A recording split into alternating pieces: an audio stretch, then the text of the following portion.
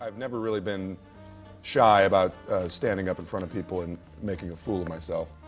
When I was uh, five years old, I was uh, chosen by my teacher at the time to play Winnie the Pooh. Uh, naturally. I had given myself till, till my 30th birthday. Uh, I, I moved out to LA when I was about 25, and I figured if I, if I can't make it in, in five years, five legitimate years of trying to, to do this, then, then I figure the market has spoken and, and it's time to, to pack it up. Uh, and I made it in, you know, just, just under the wire, basically.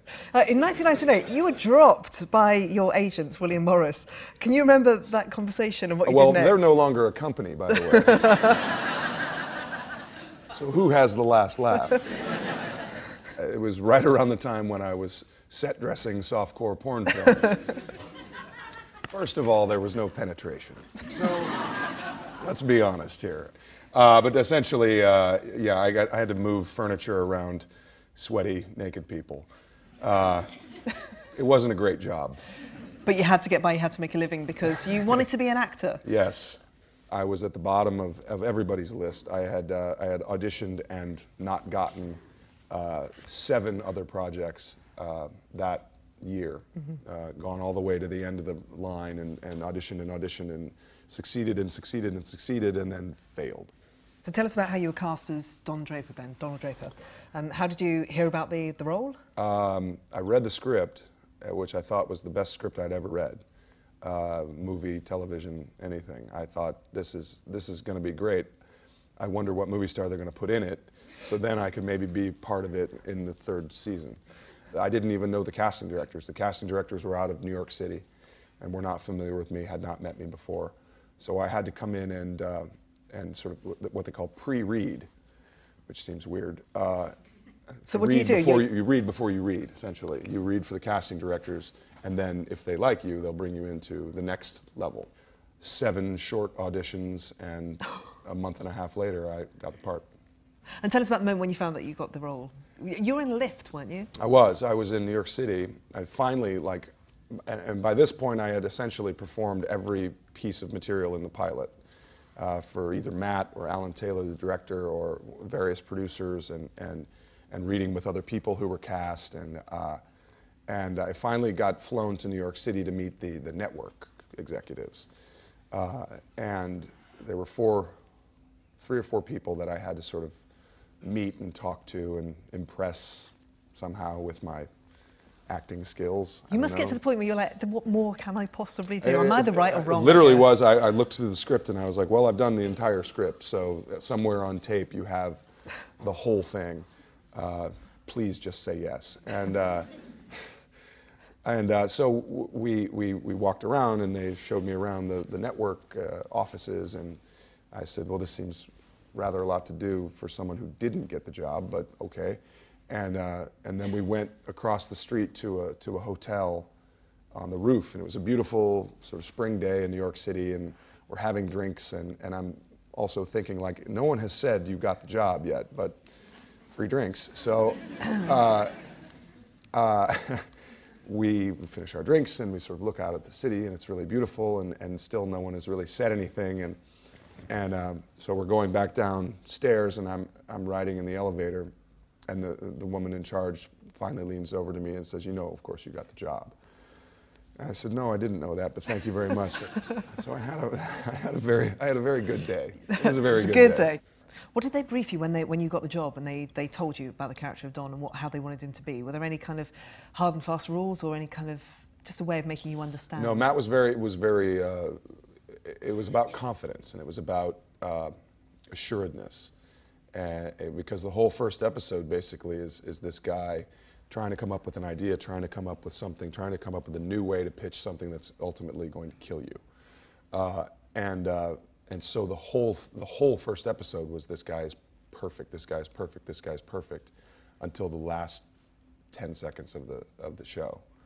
And, and so that was basically all he said to me. And then, and then I then after I got the job and after we shot the pilot, he told me the entire backstory, and I was like, oh my god, okay.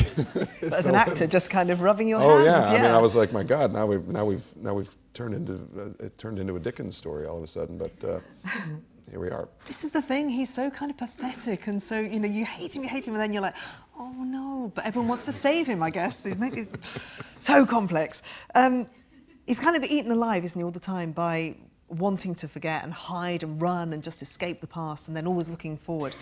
Is he a strong character or is he a weak character? What do you think? Uh, you know, I think I think at the end of the day, he's a coward, and I think that's what what we find out as as this as this show goes along. Is when- when presented with difficulty, he tends to run away. I think people want to help. They want to figure. You know, you see a puppy on the street, you want to be like, "Oh, come here, you little thing." Uh, and I'm nothing if not an injured puppy. Sick puppy, I think, is the Um, A sick puppy maybe is the, the more uh, appropriate. Why do you think he is so such a reluctant father and husband? I think because he's fundamentally dishonest uh, about about who he is and what he is, and I think that you know this is something that maybe years of therapy might help, but uh, I don't think he's got that in him, um, and so he, he has to make do the best he can, and I think that's a big part of what what Don's situation is, other than at work, uh, is he's trying to make do the best he can. You look like a hundred bucks. Ready to go sweet talk some retail Jews? You were tough to take first thing in the morning, Pete. I've never had any complaints. Speaking of which, who's your little friend here? Uh, she's the new girl. You always get the new girl. Management gets all the perks. Where are you from, honey? Miss Deaver's secretarial school. Top notch. But I meant where you from? Are you Amish or something? No, I- I'm from Brooklyn. Well, you're in the city now. Wouldn't be a sin for us to see your legs. And if you pull your waist in a little bit, you might look like a woman. Is that all, Mr. Draper? Hey, I'm not done here. I'm working my way up. That'll be all. Peggy, right? Yes. Oh, and it's time for your 11 o'clock meeting. Oh, and sorry about Mr. Campbell here. He left his manners back at the fraternity house.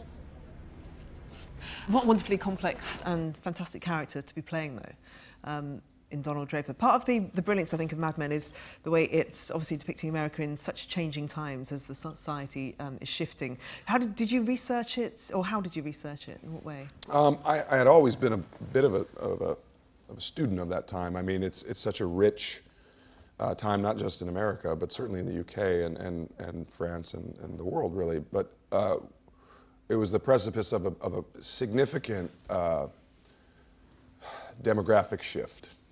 Um, and uh, what, what basically started happening was uh, the youth really began determining what was uh, important in culture. And that really hadn't, hadn't happened to this extent before.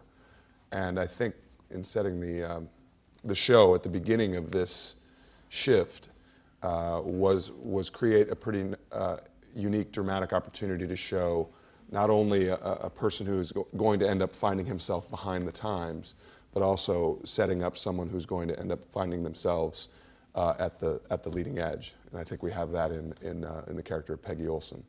There, there just seems to be something between them. They've got, both got secrets for a start, and so there is some kind of a bond between them. What, what do you think of their relationship? it's not a mistake that, that the whole series starts on Peggy's first day at work. Um, and and uh, I think in many ways she is the character through whose eyes we see most of, uh, of the show. Um, and I think that, uh, that Don recognizes something in Peggy an ambition, uh, a desire to become something else. Which he, he struggles with, presumably because she's a woman to start off with. That I'd imagine that doesn't really sit well with him to see that naked ambition and wanting to further yourself. You know, I don't, I don't, I don't know if he has a problem with it so much. Uh, I think, I think he appreciates ambition. This is a man who came from nothing and, and made himself into something uh, by hook or by crook. And I think that, uh, you know, in many ways, being from the, the sort of Depression era uh, tiny, you know, tiny town mentality is not that dissimilar from being from Brooklyn and having to look at Manhattan every day and say like, that's where I want to go. That's where I want to be. I want to make it there. And uh, and I think that that that relationship and that and that kinship that Don and Peggy both have. I think I think he considers it very special, um, and there's no romantic uh, intertangling at all. I think it's it's simply a, a business relationship, and he recognizes that she's a valuable commodity. What's wrong? Elevator out? I think I just broke up with Mark. Oh. Really? I think so. So go home. Nope. I'm ready to work. You win again. You could have just told me it was your birthday. Right, and there'd be no repercussions. So now this is my fault? Well, it's not my fault you don't have a family or friends or anywhere else to go. Go. Go run to him, like in the movies. You don't have to be here. I do have to be here because of some stupid idea from Danny, who you had to hire because you stole his other stupid idea because you were drunk. Don't get personal because you didn't do your work. Isn't there a tale of um, you damaged your hand at one point? I was Oh reading God, I've been those. I've been hurt more on this show than, than anything else I've ever done, which is weird. Uh, the first it- the first season, a piece of the wall fell and hit me on the head. Uh, I had seven stitches. It's not that funny. It hurt. uh, and uh, It's and obviously a very expensive set that walls just fall over, obviously. uh, and uh, yeah, I had to go to the hospital for that. And then, uh, and then season one or two, I forget what it was. I broke my hand uh, during a Korea flashback. There was an explosion, and we were doing a rehearsal of it. And I'm jumping through the thing and landing on this lovely soft cushion that they've put there for me. So I jump through and I land, and instead of landing on the cushion, it it sort of catches, and I roll over, and I hear my hand break. That was on the rehearsal, which meant, of course, that I had to do it two more times. Uh, so uh, as I watched my hand sort of swell up into this odd-shaped bear claw, I went over to the director and said, "I'm pretty sure I broke my hand. So can we maybe get this in one?" And he said, "All right, yeah. Well, we're going to have to because we're, you know, we're setting off explosions." And I went, "Okay, well, good, good to know." Peggy! Yes, Mr. Draper. Miss Olson, you are now a junior copywriter. Your first account will be delivering Clearasil to the spotted masses. What? Don't act surprised. Is this really happening? Yes, it is. My goodness. I will do my sincere best. Good to hear. Mr. Campbell here will brief you after the holiday. There's a scene in the first season where I promote Peggy to a copywriter, bring her in. Congratulations, now you're a copywriter. And it's basically a giant to the Pete Campbell character, but uh, it promotes her and hooray. So, uh, I and she's supposed to shake my hand. And my hand is this grotesque swollen bear claw at this point. But I have a removable cast that I can I can uh, hide. You can actually see it. It's really funny if you watch if you watch back episode 12 or 13 or whatever it is of the first season. Uh, there are certain shots where you can just I look like I have a, a cartoon hand. I mean, it's ridiculous. Um, and uh, so I say, okay, we're going to do this. And I said, you know, Lizzie, give me like a fake shake. Don't give me the real like heyo, uh, because I broke my hand. Um, yeah, okay, great, yeah. Um, so we do the scene, and I say, congratulations, you're a copywriter. And she goes, thank you, and puts her hand out, and I shake her hand, and she death grips my hand so hard that lightning shot through my head. I f- hit my knees out of the frame. I literally hit the ground, and I was like, what did I just tell you? And her response was, I thought you were kidding. because of your reputation, you see. um, if there was another character within Mad Men that you'd like to play, which one would that be? Which other Roger role? Sterling. Roger, he's a great character. He gets all the jokes. He's got a great twinkle in his eye. He, well. uh, he, we would go through scripts all the time uh, at read through and everything. And I'd be like, damn, like, here's another great joke, here's another great joke, here's another great joke. And he would just look across the table and goes, You get to make out with her. and I went, All right, fair enough. He doesn't do too badly either. No kidding. And jokes. Um, how did you get to grips with the, the feminist issues in Mad Men? Because it's, it's quite breathtaking at times, the treatment of women, and obviously it changes throughout the series, throughout the seasons. Um, uh, we try to we try to portray it as as realistically as possible. I mean, these things, these these attitudes were were around. They were present. Uh, my mother was a secretary. That's how she met my dad. Um, she was a secretary to, to my, who turned out to be my godfather. And my father went to visit uh, this guy and said, you know, basically like, who's the honey on your desk? And that was my mom. And, you know, four years later, out came I.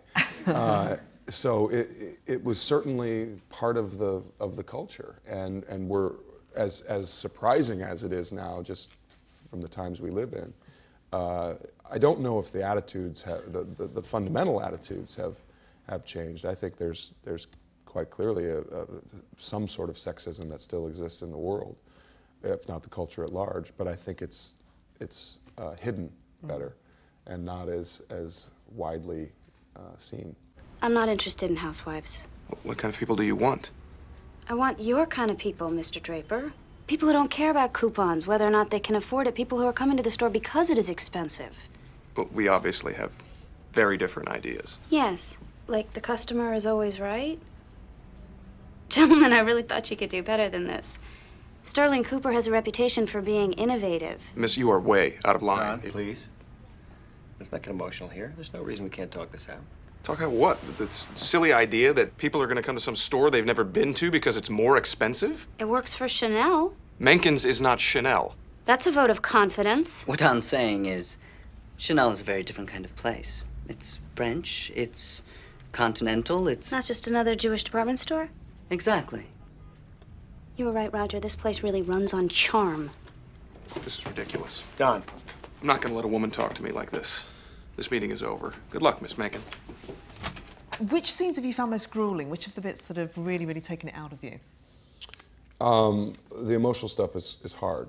Um, the, the, the, the, salesman stuff is, is a lot of words and a lot of kind of getting, getting things, getting a lot of information across very quickly and very confidently. But the, the emotional stuff is, is, is difficult because it's difficult. Um, uh, it's hard to go to that place and be, and be that person uh, often. And not just the sort of weepy crybaby. Uh, the, the, the, angry stuff too is, is hard to do. Mm. Is there any, is uh, especially when you're out? staring at Elizabeth's face, who looks talk about a hurt puppy, um, and you're berating this poor person, um, who is a very good friend of mine and who I like very much. Uh, so it's hard to to get to those places of, of sort of deep uh, seated emotion, um, but it's I think what enriches the, enriches the experience. I'm not suggesting that what I do is uh, physically. I'm not a lead miner. Um, it's not like uh, it's not like the world's hardest job, uh, but it but it does take a, a, lot of kind of mental focus for an extended period of time, uh, and there is of course a physical aspect to it. But um, it's it's it's it's a lot of focus for a long time and it's a lot, and it's a long season. It's not as long as some, but we don't have any any breaks, any weeks off or anything. It just goes straight through. So I'm pretty exhausted by the end of it, and I, and I don't have a lot of days off either. Uh, so it's it's it's it's a well-earned rest when I get to the end of it. Has the constant drinking and the uh, the smoking Mad Men made you imbibe more in real life? I'm just wondering whether it's. Uh... The stress makes me imbibe more. The uh, the uh, the, the constant, you know, we, we, we drink water and smoke sort of leaves, um, just straw, and it's awful. It's, you're still basically lighting a fire and inhaling smoke, which is not, I don't recommend. Um, but, uh, but there's, they're, they're non addictive. So, uh, no, I, I, I uh, no.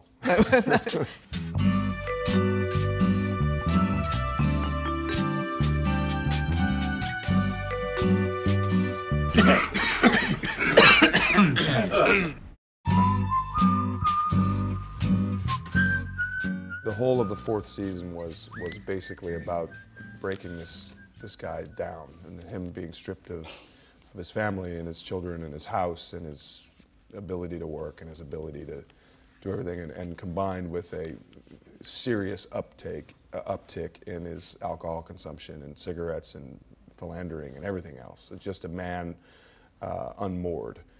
And I think Don saw in Megan, you know, a um, something to cling on to and something stable. And, uh, I, you know, I'm, uh, I'm an optimist at heart. I hope, uh, I wish the best for those two crazy kids. It's going to be great. It's going to be okay. We'll see.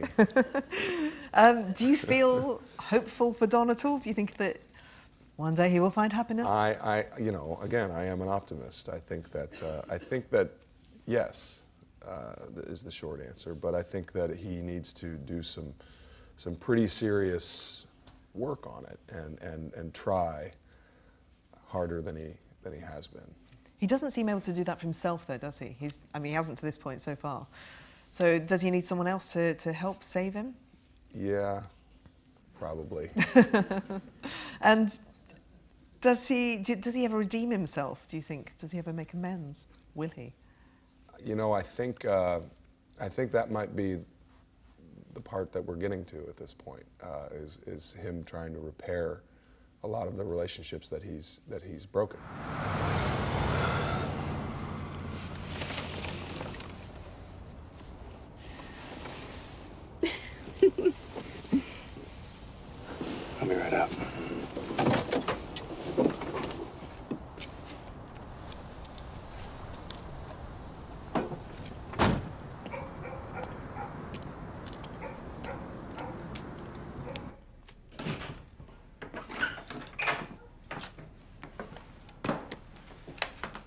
Daddy?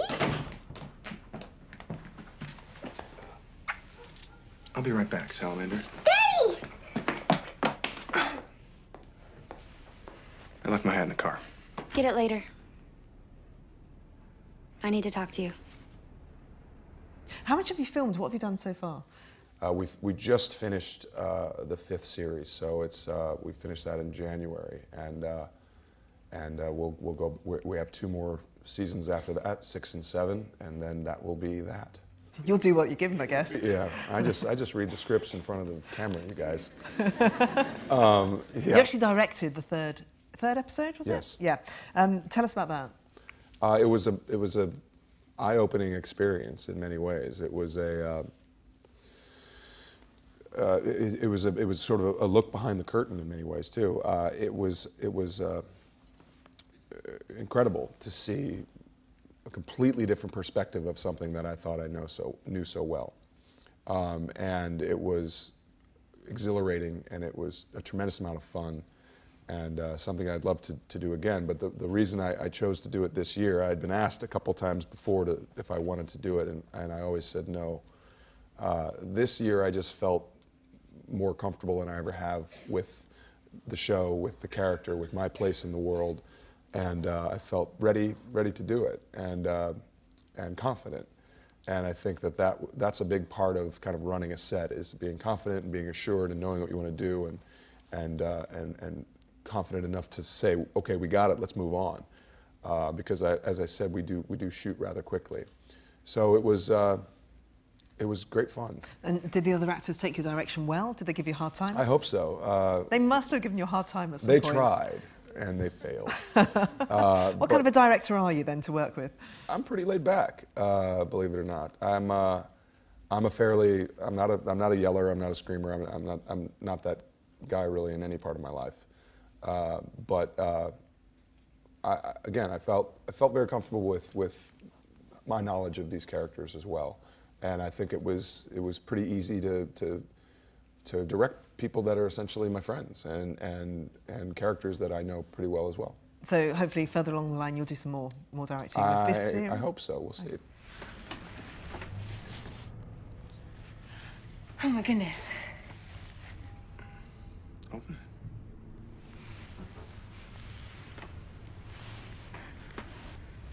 It's beautiful. When I saw you sleeping there, I thought. I couldn't imagine not seeing you there every morning. Will you marry me? Do you have any regrets? Anything that you've done that you've uh, you've bitterly regretted? The set dressing days were not great. Especially as people like me keep bringing it up over and over again as well. Sorry. But the money was useful. I, I don't have I don't have a tremendous amount of regret in my life. I, I, I don't, you know, I've, I've lived a life, and uh, I, I, that's the only one I've lived. So I don't really have much to compare it to. But I, I, I feel like I'm in a pretty good place, and uh, have, have done some things that I'm pretty proud of, and, and, and I feel confident that there will be more, hopefully, in the future.